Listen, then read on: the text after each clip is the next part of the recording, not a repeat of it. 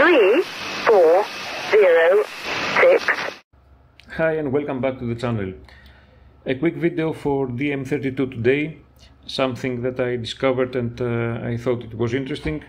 Okay, uh, we're still hoping for better firmware upgrades from Baofeng, I have to say that. It's a great mobile, a great DMR, but I would like to see some more attention to the firmware versions to eliminate some bugs. I just have to say that to take it out of my chest. So let me continue. Uh, if you remember my video for the DM32 UV, the presentation that I made, I was complaining about the screen, that it was uh, a classic dark background screen with white letters. This is a norm for many radios in this period of time. I'm not sure that I like this thing, to say the truth. Uh, I know it looks better uh, in uh, in in our eyes sometimes, but in countries like Greece, where we have a lot of sunlight, this becomes a problem when you have to use your DMR outside. So, uh, okay, there are some modified firmwares around, mainly from a Russian guy. Yes, sorry, I have to say this because I know that uh, people from US that are watching those videos might uh, start thinking, oh, US, uh, they are spying on us, don't use his firmware and stuff like that. Well, uh, I don't care. if they are spying on me uh, through this radio, uh, have fun, guys. I don't know what you're gonna listen.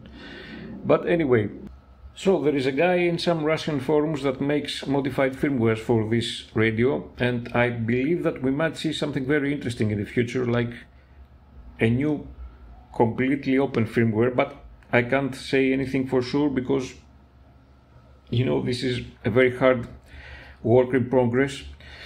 But uh, before we get there, he released a version of the latest firmware 049 that he inverted the colors on the screen. And that's what I wanted to show you today. Uh, here is the DM32 UV. You can check the video I made for the full presentation of this radio, which is an excellent DMR. Uh, and check this out.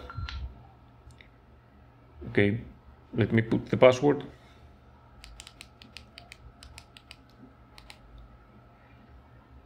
Full inverted screen, white background, black letters.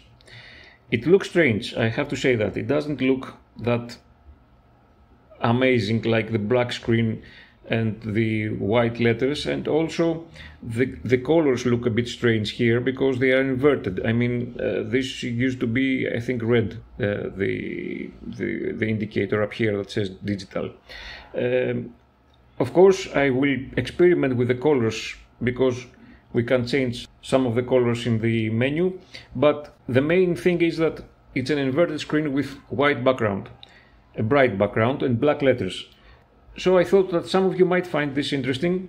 Flashing the firmware is not something difficult to do. You can test this yourself if you like. I will put a link of this firmware in the description of the video. And that's it. I mean, test it out and tell me what you think. Uh, try to test it out in sunlight conditions. Uh, do you think it works better? I'll just take the camera and do a small test here. as you can see bright sunlight. Yes here. You can see it here.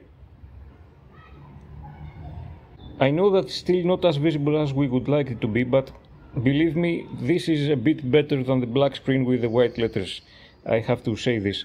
Uh, the other screen at least to my eyes was not visible at all I mean I would I couldn't see absolutely anything when I had this radio in this bright sunlight. So I think this is a, a first step to a good development. Okay, back inside. That was it. As I said, I will put a link for the firmware in the description of the video. Tell me what you think if you flash it. Do you think it works for you? Is it better for you with those colors? And also just a tip, if you want because some of you might consider the boot screen uh, that it's now inverted. Normally it was black with white letters how I made it, but you see now it's inverted to white background and black letters. That is a problem that we can solve very easily if we just invert the image file before uploading to the radio. It will become again black with white letters or whatever else we want, but the main screen will be white background. So, thank you for watching. Tell me what you think about this new firmware. See you next time.